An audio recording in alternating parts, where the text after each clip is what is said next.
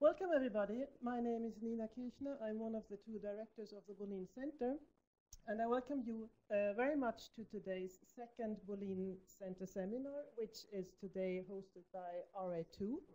We have a guest here. It is Professor Merete Bilde from the Department of Chemistry from Aarhus University in Denmark.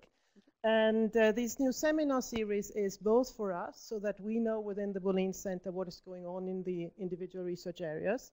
It is also for us to meet regularly once a month, and it's also for us to uh, collaborate and exchange with people outside the Bolin Center.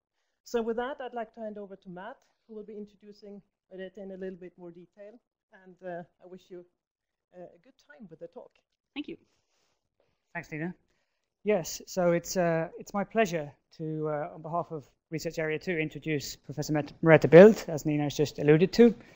Um, of course, the Research Area 2, we, we're interested in aerosols, clouds, turbulence, and climate. And as you can see from the title of Merete's talk, it, uh, well, it certainly has two of those uh, words in, in, the, uh, in the title, and of course involves others as well. Um, is, uh, has, a, has a long career, I suppose, since since you finished your PhD um, in looking at sea spray aerosol and uh, its interactions with clouds. Um, as far as I understand it, if I get this right now, Merete, you're actually a physical chemist as your background. Yep. So you did your PhD um, in Denmark um, with uh, Ole John Nielsen, I think it was, um, on uh, the atmospheric chemistry of uh, halogenated methanes. Methanes, yes. Um, and then you did two postdocs over in the US. I think you continued in the same in the same field. You were at Carnegie Mellon um, and also in Pittsburgh. And then following this, you came back to, to Denmark to do uh, to start a research group in Copenhagen. And I think that's where you really started doing some of this work on sea spray aerosols and clouds. And you've now continued that in, in Aarhus, where you're really expanding your, your group and looking at some of the processing of these aerosols and things.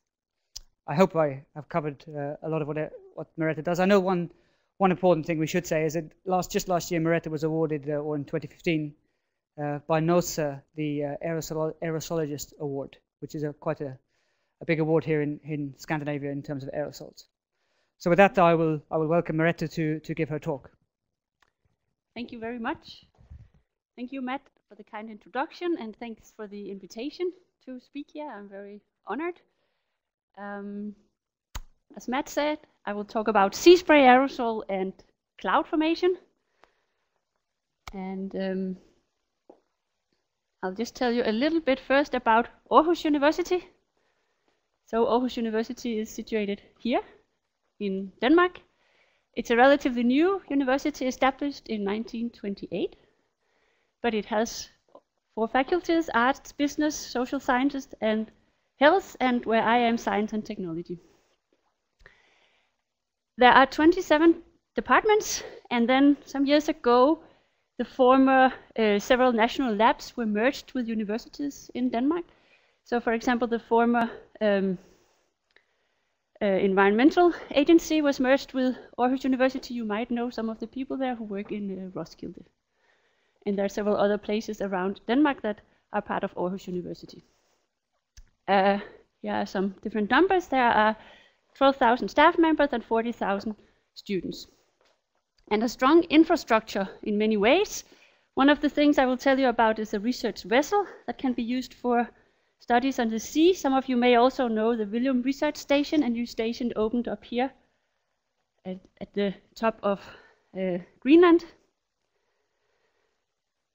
And I come from the Department of Chemistry, there are 28 faculty members and an equal amount of technical persons, 400 students in chemistry, 120 PhD students. And uh, the department is quite proud to be ranked pretty high in Europe, the world, and also on a NordForsk list as the highest ranked, this is in the Nordic uh, comparing, highest ranked department across disciplines when it came to publications and citations and things like this. So that was the introduction about where I come from. I will talk about the atmosphere, about sea spray aerosol, and then some properties of these sea spray aerosol. What are they and why are we interested in them? I'll show you some results from my own group, some of it in collaboration with people here from Stockholm. And then I will also share some thoughts with you about what we plan to do in the future. Hopefully, maybe during the afternoon, we can have some uh, discussion also. So, the atmosphere. It's what's, if we go outside and look up, we have the atmosphere. And what is plotted here is the temperature and then the height above the surface of the Earth. And the atmosphere is characterized by a special temperature profile. As we go up, temperature decreases, and then we reach the tropopause. So this part, the lower part of the atmosphere, is called the troposphere. Tropos is Greek; it means turn around. So the air in the troposphere is mixed, whereas the air in the stratosphere is more is layered. And we see an increase in the temperature because of chemistry, because of the ozone layer up here. And much of what I will talk about takes place here, down here in the troposphere. If you go out and look up, it may seem that the atmosphere is infinite. It goes on and on and on. We know that's not true. But just to put this in perspective, we are now here. And if you go to the globe, you have already passed through what corresponds to the distance to the tropopause. That is where 75% of the mass of the atmosphere is present. And if you travel to Arlanda, corresponds to going through 99% of the mass of the atmosphere. So this is a famous NASA photo of the Earth seen from space. But it kind of puts in perspective that the atmosphere is really just a thin shell around us, protecting us from a lot of things, keeping us warm, allowing us to live, to have oxygen. And so there's a lot of interest, of course, is what goes on in this atmosphere, and I'll just focus on some part of it. When we study the atmosphere, there are some physical parameters that are important. Its pressure varies, temperature varies, there's radiation of different kinds. There's a large spread of relative humidities from very, very dry to more than 100% relative humidity. And for chemists, it's very interesting that we have stable molecules, but we also have radicals, molecules that have a free electron that are extremely reactive. We have organic and inorganic molecules, we have several phases. The atmosphere is not just a gas phase. We have a solid phase, we have a liquid phase, we have a gas phase. We have multi-phase systems. And we have seemingly also life in the atmosphere. There's a field called aeromicrobiology, and a lot is happening right now studying the role of microbes in the atmosphere. So Chemists also think a lot about times for different reactions. How long time do things uh, take? And if I emit something here, like uh, whatever compound it could be, this is based in the US, but we might as, as well emit it from here. It's useful to know a little bit about how long time does it take whatever I emit here, these molecules, to distribute themselves around the globe. So it takes weeks to distribute themselves in this way, it takes about a year to cross equator. But within one to two years, a molecule will be equally distributed um, in these directions. We can also think about how long time does it take to reach the tropopause to mix vertically, and it takes about a month for a molecule to mix within the troposphere. And then there's a big jump. It takes years to cross uh, into the stratosphere.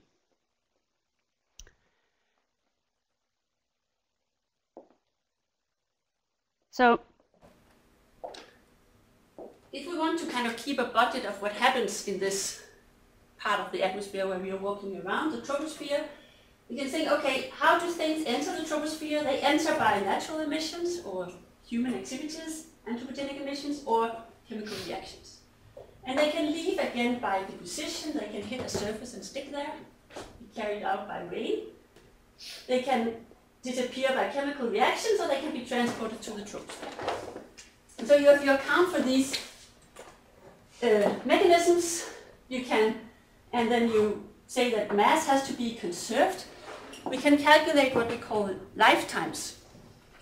So the time it takes for something to reach 1 over e of its initial value. And so this plot shows a spatial scale and a temporal scale. And so it demonstrates that in the atmosphere we have things that live in the atmosphere, so to speak, only on very short time scales, seconds. These are radicals, extremely short-lived reactive species.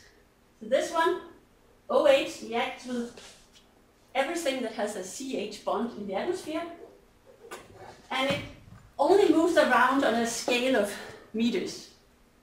Then we have some really long-lived species, and you've probably heard about the CFCs, chlorofluorocarbons. They stay in the atmosphere for maybe hundreds of years, and they move around. Yeah, they completely tens of thousands of kilometers. And then in the middle here we have moderately long species, and here we find aerosols, small airborne nano microparticles surrounded by air, which I will focus on in the rest of this talk. But so keep in mind that they live in, in the atmosphere for time scale of days, weeks, maybe months, and then they are removed.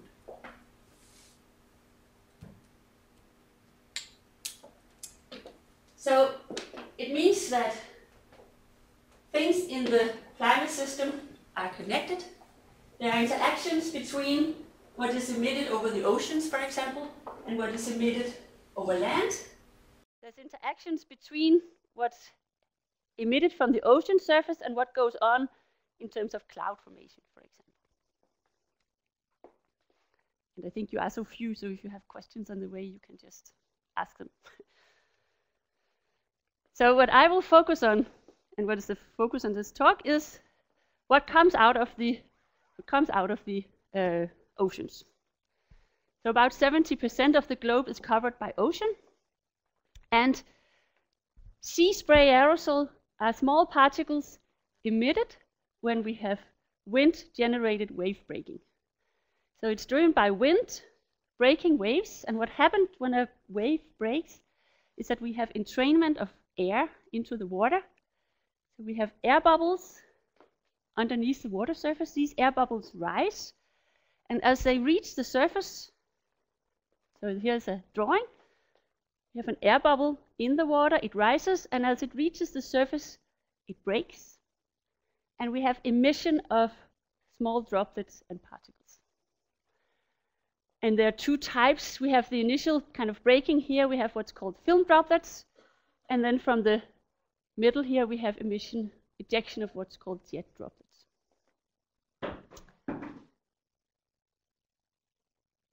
This is not just a tiny amount of material coming out in the, at the atmosphere, it's huge amounts of material. And the oceans via sea spray aerosol is next to dust, the largest source by mass of aerosol particles to the atmosphere. There's some uncertainty to exactly how much sea salt is coming out, so you can see the best estimates vary between 118 and around 4 times 10 to the 12 kilos per year. But it's, anyway, a lot of material coming out every second. And these sea spray aerosols, they have an effect on climate. And the particles can affect climate, we say, directly. They can affect climate directly by interacting with solar radiation, scattering light, or absorbing light. So that's the direct effect of these particles. They can also have an indirect effect on climate, and that's via their ability to act as seeds for cloud formation. So we wouldn't have clouds without the presence of particles. The water molecules need something to condense on, so this doesn't happen in the atmosphere. We need particle surfaces to be involved. And this indirect effect is illustrated here. Perhaps some of you have seen it before. But this illustrates how particles affect the radiative properties of clouds. So in this case to the right, we have few particles that can form cloud droplets. Few cloud condensation nuclei, they are called. And so the water molecules distribute themselves between few droplets. They become large, and so there are few surfaces that can scatter light, and the cloud appears gray. If we introduce particles that are good seeds for cloud formation, the water molecules divide themselves between all these surfaces, and we get small droplets and surfaces that more surfaces that can scatter light, and the cloud appears white. So in this way, particles can affect radiative properties of clouds and also cloud lifetime. So this cloud has a longer lifetime than this one over here. And how can that be described? I will not go into a lot of theory, but to describe, and in the following we will just distinguish between two types of clouds, warm clouds and cold clouds. The warm, warm clouds I will refer to are liquid water droplets. And to form a cloud droplet,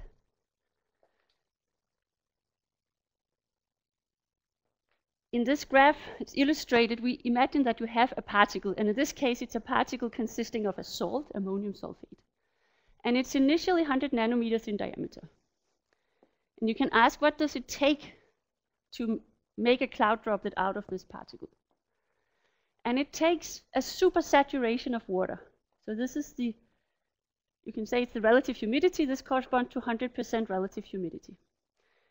So to form a cloud droplet, you need a certain supersaturation of water, a little bit more than 100% relative humidity. And what this Köhler theory predicts is what is this, we call it critical supersaturation, the saturation ratio of water needed to form a cloud droplet. And that's a key parameter in models, and that's something that we are looking to find experimentally and to see what is this what is needed for sea spray aerosols to form cloud droplets.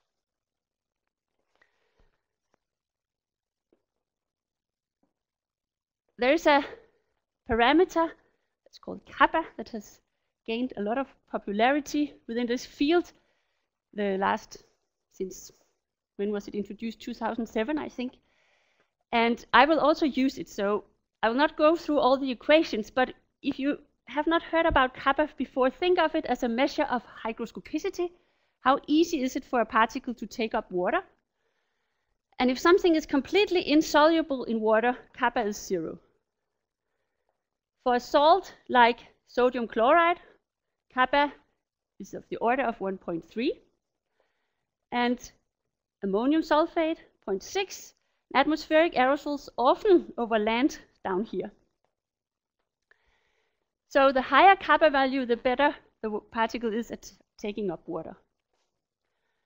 Um, and if you have determined kappa, the idea of this kappa is one of the ideas also that if you have determined kappa for a sodium chloride and you have determined kappa for an organic molecule, and you have a particle that consists of organic and salt, you can find the kappa value of this mixed particles from a simple addition rule, where you just take the fraction of organic and the fraction of salt and multiplied by the individual kappa values. And we will, I will come back to, to this, whether or not this rule holds for sea spray aerosol. Okay, so any questions to this? Okay, so you can think of kappa as a measure of the ability to form a cloud droplet. When it comes to ice clouds in the atmosphere. The picture is more complicated, and I will just mention it briefly here and not go into detail with it. But there are several kind of mechanisms for forming some of these beautiful ice crystals that you can form in the atmosphere. The thing is that this is a plot came out a few years ago trying to summarize understanding of the ability of different types of particles to form ice crystals.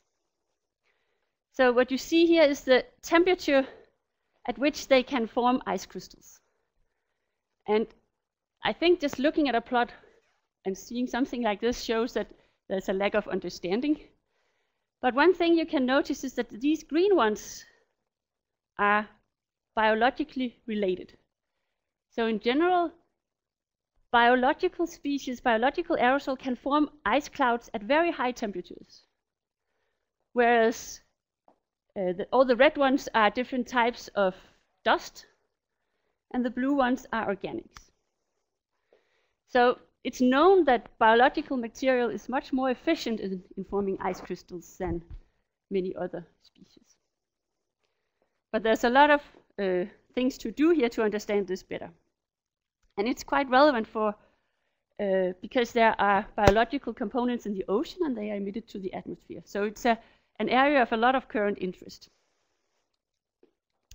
But now if we take a step back and look at the properties of particles coming out of the ocean, what are the important properties to try to understand how good are they at forming cloud droplets and what are their climate impacts? Then the size of the particles, the sea spray aerosol, is one important parameter. And the size spans an enormous range from a few nanometers and up to several micrometers. So you can also imagine this also affect their interaction with light and their optical properties, for example. And these are just a nice review by, I think all my re references have disappeared from the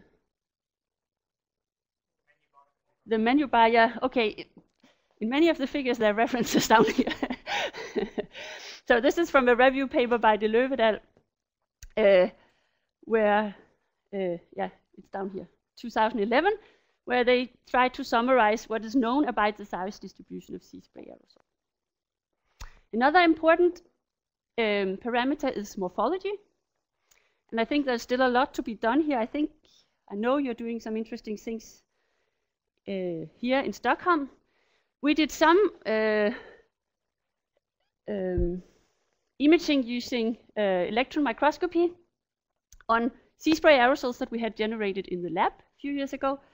And for those particles sized around 60 to 100 nanometer, and this is just artificial sea salt, we saw that they looked like kind of cubes with, with rounded edges. But this is just pure sea salt. Um, and I think there's studies going on around what does organics do to this and, and what is this uh, at different sizes, for example. But shape morphology is an important parameter. And then another parameter that's that there's a lot of interest in is what is the chemical composition of these particles coming out of the ocean. And we know the well, the ocean contains salts, so there are different inorganic ions. And it's also known that there is biological material in the water, and at the surface of the water, there's something called the sea surface microlayer, a layer of soap-like molecules uh, containing different kinds of organics. And this was a nice paper from 2015 where they um, put this in, summarized it in this figure, so you can imagine that you have air bubbles in the water rising. They could pick up organic molecules on their way to the surface. They could also pick something up maybe when they are lying here. And when they burst, you can have emission of salts as well as organic material to the atmosphere. Now, the interesting thing is that what is coming out into the atmosphere does not always have the same composition as the water that it comes from. And that has been shown in some field studies. This is from, from Mace Head, and it, this is the particle size. And this is mass fraction of different species. And so what you can see is that the smaller the particles are, the more organic, mater organic material they have. Whereas the big particles are almost only salt. So this is referred to as enrichment, that these small particles are enriched in organic material. So even if they come from the same water, they don't have the chemical same chemical composition, depending on their size. This study shows the same. This is a study from the group here in Stockholm, showing that there can actually also be enrichment of inorganic ions compared to the seawater. So this is intriguing to think about why is, why is this happening? And what is the impact of it when it comes to climate? And the last thing is the phase. What is the phase of these particles? That's something that is quite interesting in general to ask the question, what is the phase of organic aerosols? There are also organic aerosols in here.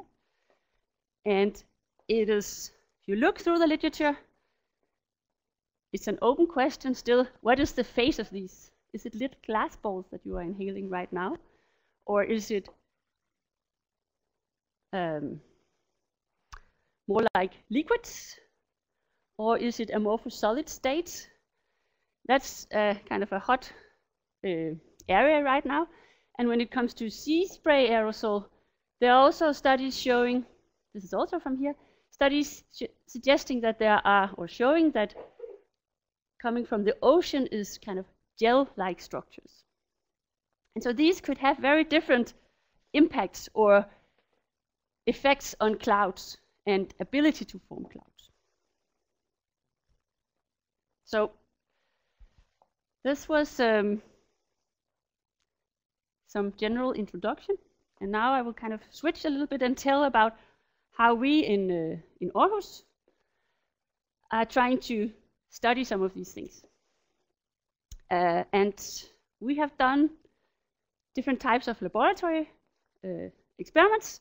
And of course, we cannot mimic the ocean in a little uh, container in the lab, but we hope and we think that we can understand some of the processes that goes on by doing some focused lab studies.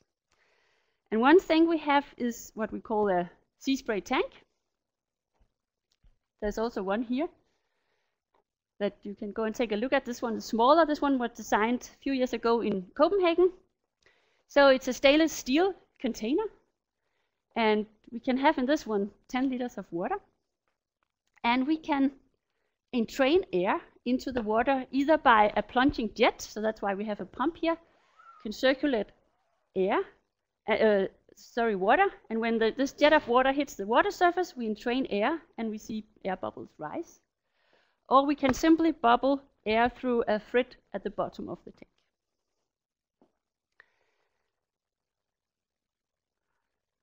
And um, then we measure the particles that are formed because we do see that then particles are formed in the headspace of the tank. And there are instruments that can measure the size of particles. I won't go into the details, but if some of you are familiar with uh, mass spectrometers, this one works, it bends the particles not according to their mass, but according to their electrical mobility. So the particles come in, they have all different sizes. In this column is an electric field, and depending on the ratio of the particle size to charge, they are bent in this electric field, and we can decide what's, what size come out at the bottom. And then the particles are so small, if they are 80 nanometers in diameter, we cannot see them optically directly. But what we can do is we can condense a liquid on them, and then they can be counted optically one by one. So there's instruments, standard instruments for measuring particle size and for counting them also. And then one of our goals was to study how good are these particles at forming clouds. And we have two types of instruments for studying that. We have one that's built at the University of Wyoming, and we have one that's a commercial uh, instrument from, um, from Boulder. Uh, in both instruments, what's done is that we simulate the conditions where clouds are formed, so we have a little bit more than 100% relative humidity. And we expose the particles to a little bit more than 100% humidity, and we can detect if they grow to the size of a cloud droplet or not. And the data looked like this. So we take one particle diameter at a time, and we look, does it form a cloud droplet or not? So this is called the activated fraction, the fraction of the particles that form a cloud droplet. And at some point we see this is the activation. And so we know if we have a supersaturation of 1.5%, only particles that are this size or larger can form cloud droplets. Okay. So last year we, during April and May, two or three times uh, a week, we went down to the Bay of Aarhus and collected seawater and took it back to the lab directly, and we put it in the tank and measured different properties of this um, sea spray. And what did we see? First, we measured the size of the particles formed. Um, we measured during April of May because we um, we also did measurements of chlorophyll, for example, and we were hoping to see some variation in uh, biological activity and perhaps some variation in the properties of the particles. What we did see was that the size distribution we measured, so we put the seawater in the tank, we turned on the plunging jet and generated particles, and this was the size distribution of particles we, we saw, and it was pretty much the same during both months. Um, we saw a little shoulder here, and then we saw a maximum here around 100 nanometers. No, around 80 nanometers. And then we measured the ability of the particles to form cloud droplets. And this is what we saw. Some of you are used to look at plots like this. So this is the particle diameter. This is the supersaturation needed for a certain particle to form a cloud droplet. And these are lines of this constant kappa value. And you don't need to think so much about this. The thing was that during the whole campaign, the particles behaved more or less just like sea salt. Um, the black dots are artificial sea salt. And you see there's basically no variation. A little bit of variation, but it, in general, the particles were always like sea salt. What we also did was that we um, you can collect what's called the sea surface microlayer. So you dip a glass plate into the water, you take it out, and you scrape off whatever kind of this microlayer sample that's there. Yes?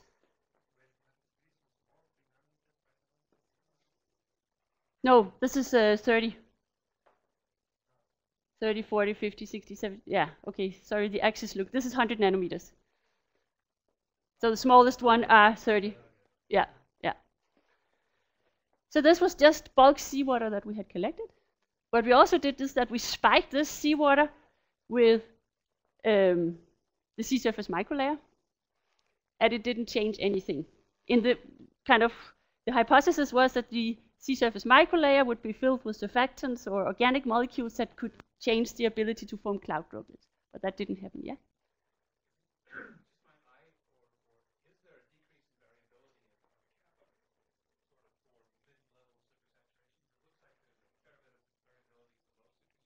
Yeah.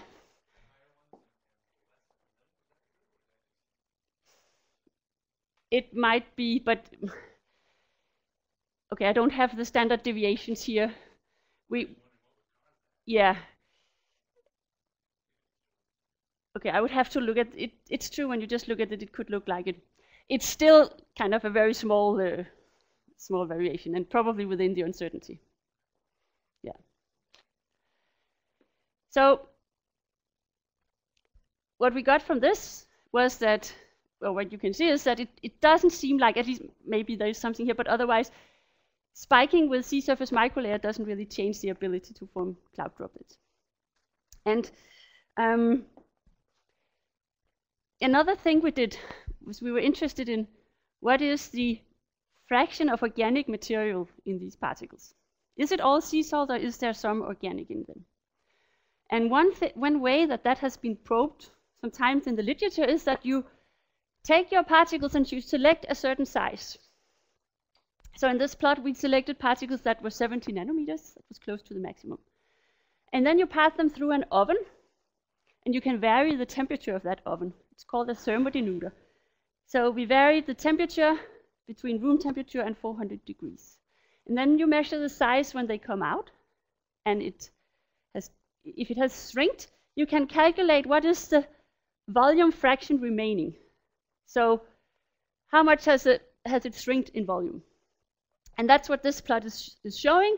So we did that also for all the samples. Every day we collected, we, we also we did the, C, uh, the measurements of size distribution and CCN activity, but we also measured the volatility in this way. And we got something like this.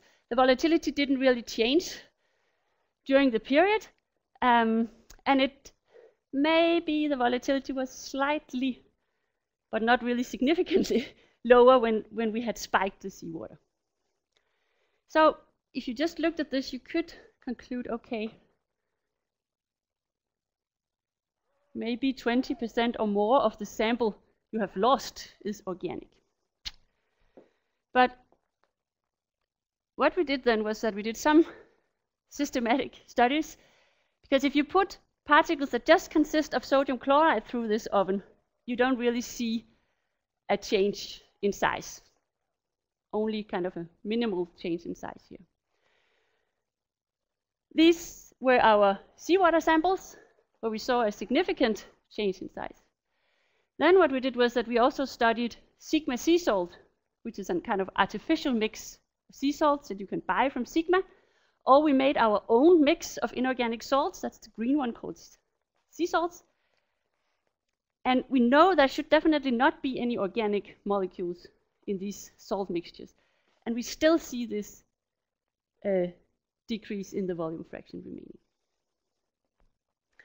And uh, it has been, uh, what we see here for the seawater is consistent with what has been, there's a nice study by Modini, for example, where they also see this. But we were kind of intrigued, what is it that causes this if it's not um, organic molecules? And what we realized, if you look into the literature, it's known that even if you dry sea salt, it will contain some water. And it's also known that magnesium salts, for example, form hydrates. So what we did is that we had, this is, we did the pure particles only consisting of sodium chloride, and then we mixed part, uh, sodium chloride with magnesium chloride. And what did we see just from studying volatility of a mixture of sodium chloride and magnesium chloride, we got this behavior. So what we have infer from this is that one has to be very careful with interpreting data like this because the hydrates can be playing tricks here and uh, causing these causing big steps in uh, in volatility. Calcium chloride is also very good at forming hydrates. Okay. That was a little bit of a detailed thing, but um, we were quite happy that we kind of that fitted together this picture. Now, we saw that it was very, it seemed like the sea spray aerosol behaved completely like it consisted only of salt. And so one thing we thought was, can we, um, under some circumstances, you know, could there be circumstances where CCN activity would be affected by the organic to a much larger extent? And so we tried to coat particles. We said, okay, what if we shield the salt core by a coating of organics? Will that change the ability to form cloud droplets? And we picked as coating material four different organic acids, long chain acids, and this type of acids has been found in, in the marine environment. And we picked two types. We picked some that has a double bond, and then the corresponding one that doesn't have a double bond. And the reason why we did that was that those who have a double bond are liquids, and those who don't are solids. So we wanted to compare a solid coating, the effect of a solid coating with the effect of a liquid coating, and then we just had two different chain lengths also of the organic.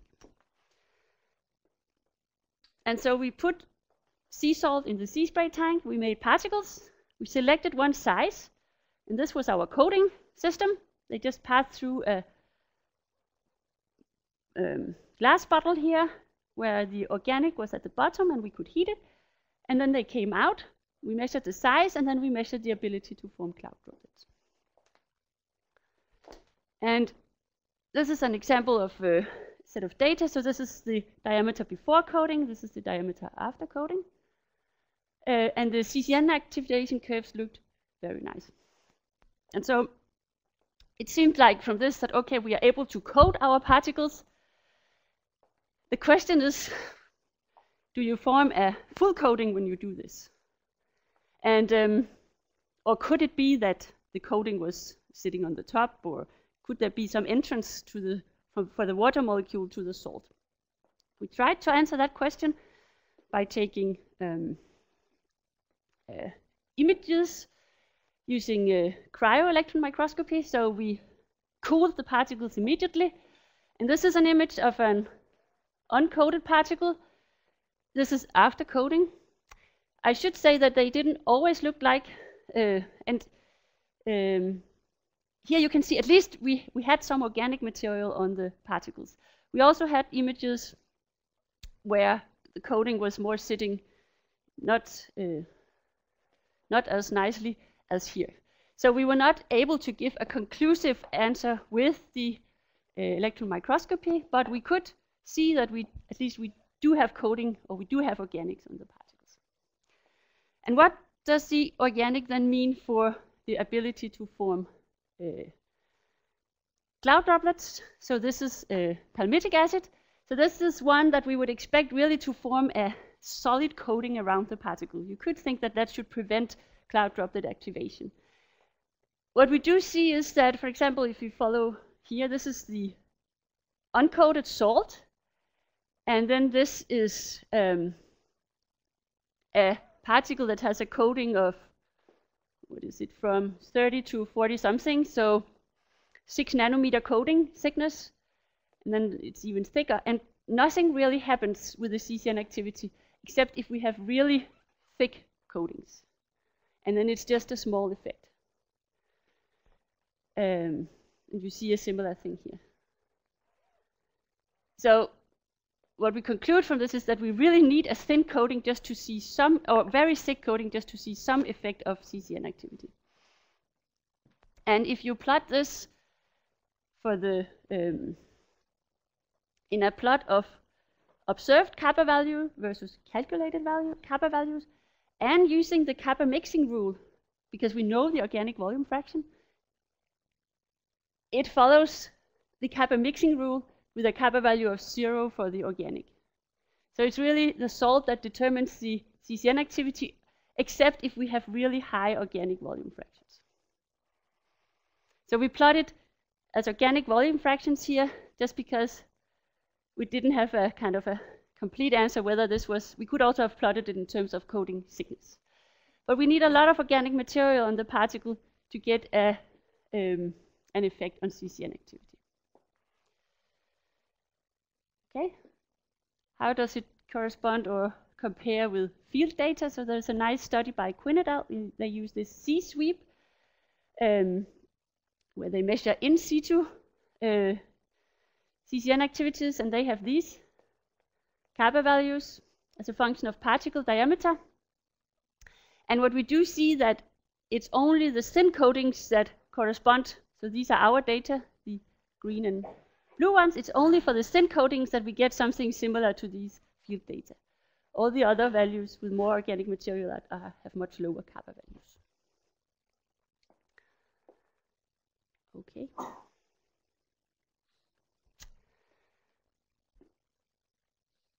So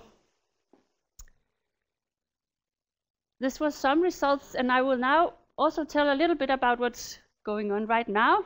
Um, and one thing is that we have made a new, a second generation of our sea spray tank. Um, and you have a photo of it here. And it was the last month it has been at the uh, AIDA chamber at a campaign. Matt Salter was also at that campaign, and a student of mine, Sigurd, who has also been very um, key together with Quinn and Guian in building this tank. And how is improved? Is it improved compared to the previous one when it has temperature control? It also has a window so we can actually see and photograph what's actually going on in there. And then it has uh, flow meters and a frequency controlled pump uh, so we can um, play more with how we generate the droplets. And um, one thing that we want to target a little bit is okay, so it seems like, um, at least for CCN activity, the particles coming out of the ocean, at least what we have seen and presented here, we don't really see changes in CCN or dependencies in CCN activity. They seem to behave like uh, sea salt. But it has also, it's evident that there is, that the ocean produces, for example, monoterpenes, isoprene, alpha-pinene, molecules, and I'll come back to what they can do.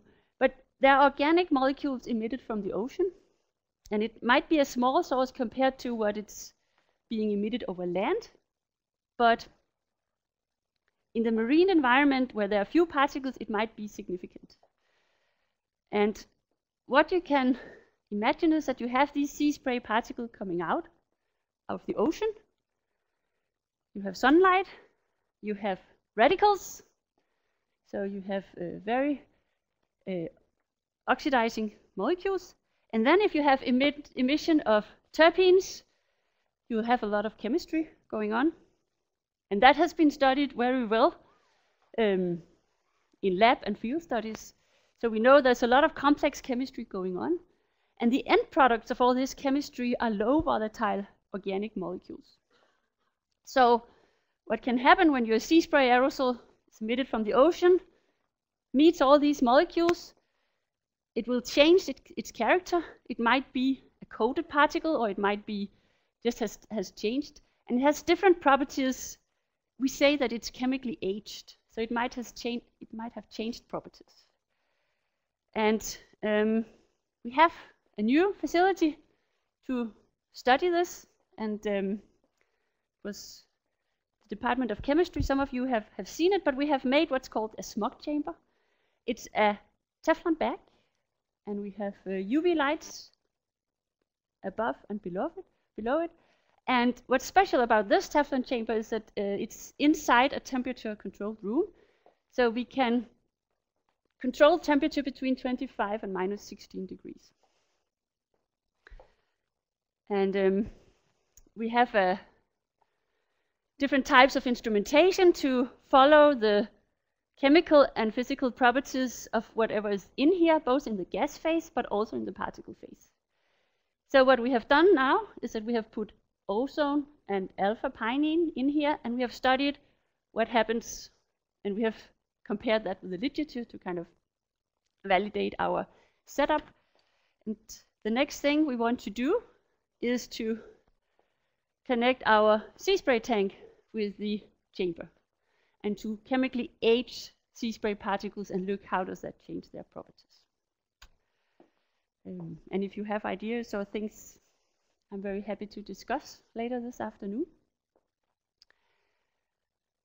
And then before I end, I just want also to another thing we will do that Aarhus University has a brand new research vessel. It's called Aurora, and there's uh, there's actually a laboratory also made for air measurements. There's a um, in front of the uh, exhaust stack there's uh, in the right place compared to that one, there are also air intakes and things.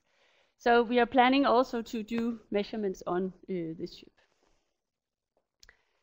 And with that, I will end. So what we have found, or what I've discussed, is that with respect to cloud droplet formation, in most cases, what we have seen is that fresh sea spray aerosols seem to be dominated by the salt content.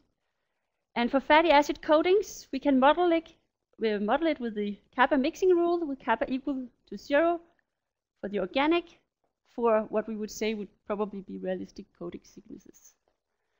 The volatility of fresh sea spray aerosol can be influenced by hydrates. It's a technical thing to keep in mind. This I skipped, so I won't say anything about this. And then for future things, what we will do is to try to age sea spray at this uh, new smog chamber facility and we will also take some of the equipment, hopefully on board the Aurora ship. And I should thank the people who have been doing this.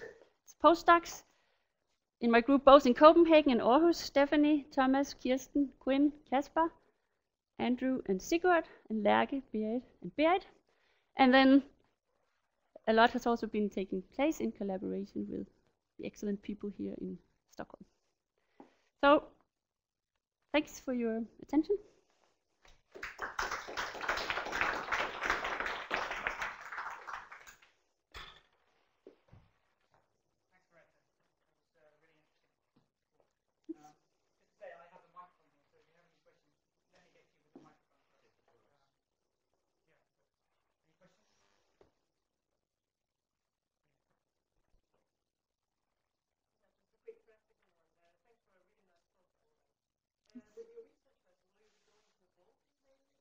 Yeah, it's it's the Baltic mainly, and up along the Nordic, uh, uh, the coast of, yeah, it's the Baltic mainly, around the Dan and Denmark.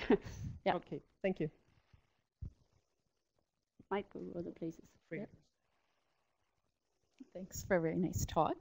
Uh, I was just wondering about the enrichment. This is not my area, so I'm going to be just really naive. But what what does that mean? Is it just that the smaller particles that are enriched in organics and inorganic ions too? Are they just do they have different source processes, or is it like some sort of chemical process? I don't think I understand. It's a very good good question. I didn't show any explanation. I just showed what has been observed.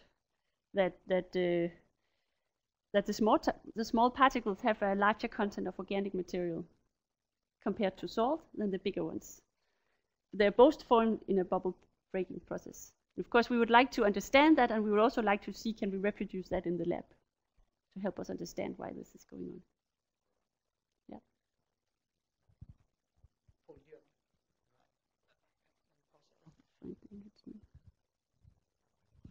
Thanks for your talk. And uh, maybe because of your question, I mean, the effect is also, I think, what you ask is it also has an effect, for example, on on hygroscopicity. So how much these particles take up water. So that's why you study this at different sizes because Yes. it also affects the optical properties. Exactly. Yeah. Uh, but one question I had on your organic, on your coating experiments. So you had a big change in the kappa, so in the hygroscopicity. Like, is was this some, the, the the the fatty acids you choose? Are these atmospheric relevant organics, or is it because I mean, of course, you see a huge difference while in your other code uh, in your experiments from the Aarhus Bay, where you brought the um, water into the lab and you looked at the supersaturation versus diameter, you didn't see any change uh, uh, with p- spiked water without, or, or the normal water. So I was just confused a little bit. Is were these atmospheric relevant experiments? This with the They were model compounds. I mean, fatty acids are formed in of are fine, found in the um, in the marine uh, in the water, but this was also kind of a model study to see what what would it take to change the uh, CCN activity. That's quite a lot, huh? Quite, Yeah. You had to change it quite Yeah. a lot. there. Cool. Thanks.